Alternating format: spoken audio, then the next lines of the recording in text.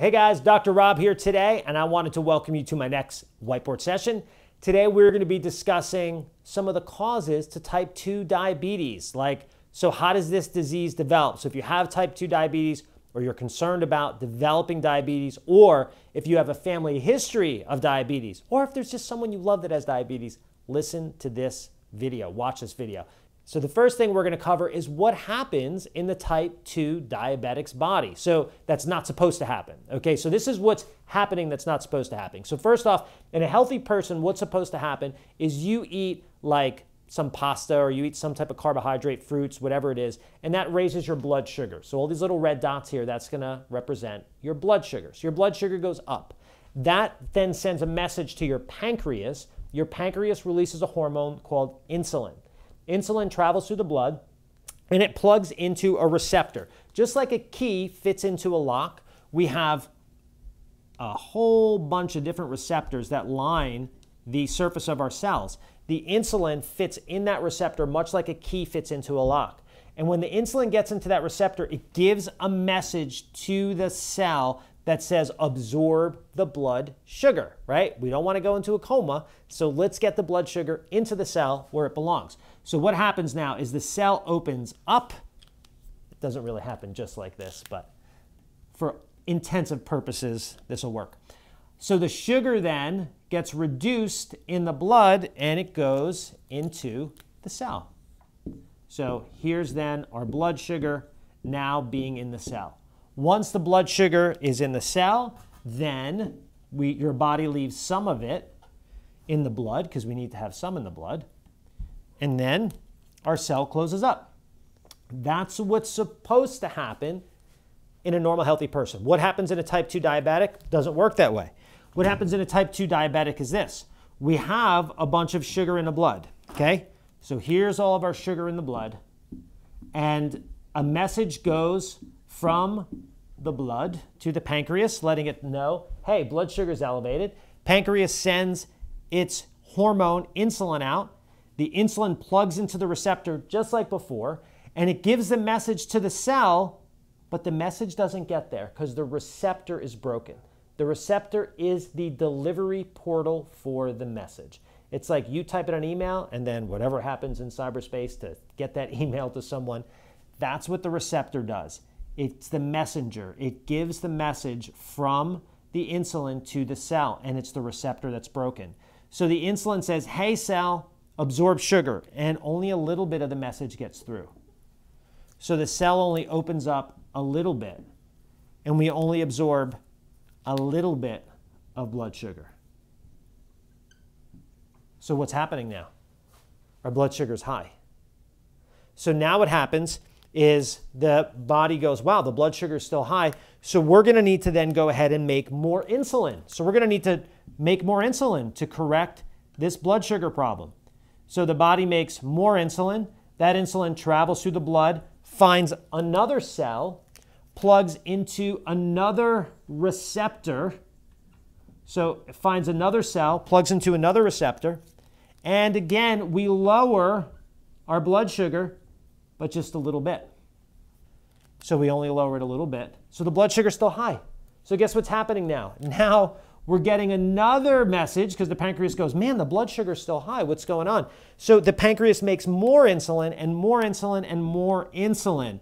So we get all this insulin floating around the body, which is horrible because insulin, too much of it is inflammatory to the body. It increases inflammation. Insulin is the most powerful fat storing hormone. In the presence of too much of too much insulin, you're not going to lose weight, period. Okay, so this is a problem at the receptor. And there are specific ways that you eat and there's specific nutritional supplements that you take to help support the body's ability to correct these receptors. Now, I don't claim to treat type 2 diabetes although I have a great track record with these guys. A lot of patients that have come to me over the years, they said they've gotten great results with their diabetes. Again, I'm not claiming to treat it, it's just what happens, right? So, what causes this? What causes the breakdown in this receptor?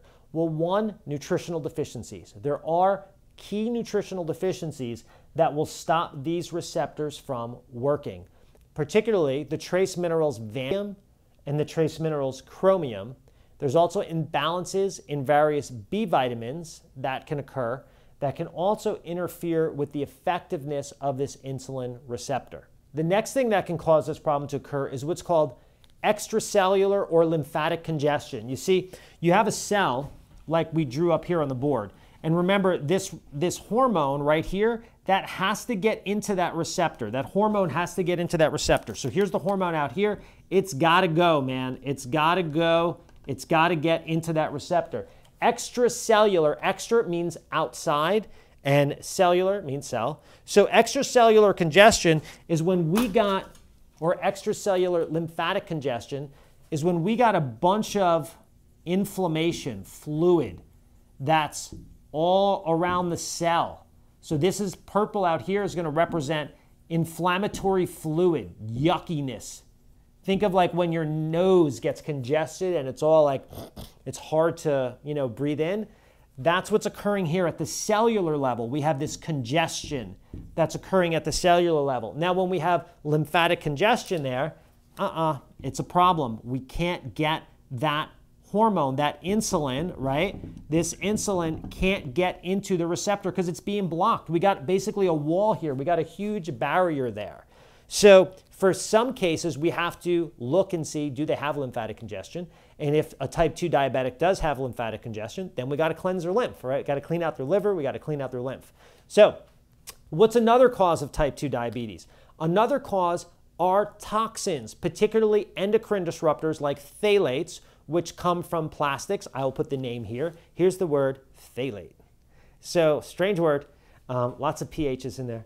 So, phthalates, they come from plastics. They're the things that make the plastics flexible. And there are some studies that indicate phthalates, what they do, and what some other, what some other um, endocrine disruptors do, is they directly block the receptor. So remember, the insulin has to get into that receptor. Well, here, did you ever take a key, put it into a lock, and it fit, but you went to turn the lock and, oh, not the right key, right?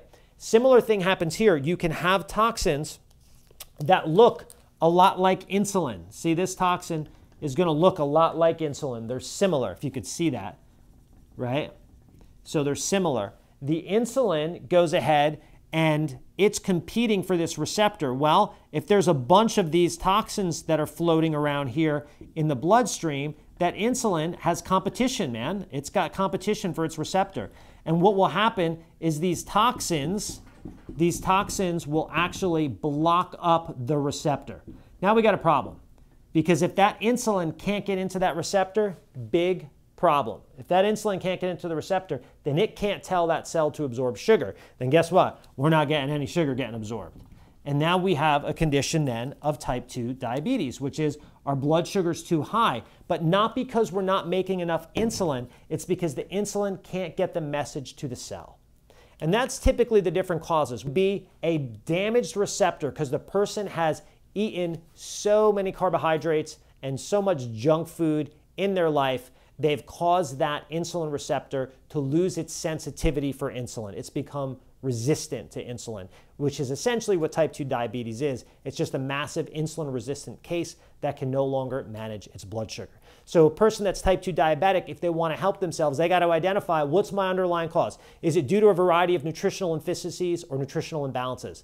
If it is, then I need to handle that. Is it due to my receptor being break, basically broken because I've eaten so many carbohydrates. If there is, there are specific ways that you need to eat to help reset that sensitivity in the receptor. If there's toxins, you need to find out which ones and get them out of the body. Yep, we do have tests that help us to look at that, to identify those. And four, is there, or also, is there lymphatic congestion? And if there is, you got to identify that and handle that. So, whatever the cause is, you got to handle your cause.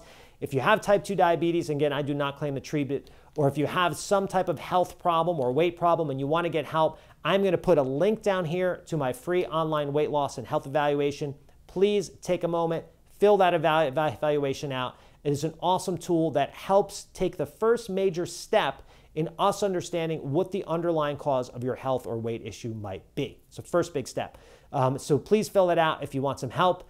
Um, also, too, if you like today's information, you found value in it, please subscribe or share with a friend. Sharing is caring, and I want to just help as many people as I can. And I really appreciate you guys. I want to take a second and say thank you because I really appreciate you guys watching these videos. Um, my whole purpose is just to help. I really just want to help you. So, um, so thanks. Thanks for taking the time. And you know, if there's any specific topics you want me to cover, let me know. I'm happy to cover it. I really, I just, I don't know. I just like helping people. So, all right, in any event, um, if you like this information, subscribe, share with a friend, and I will catch you at the next whiteboard session. See ya.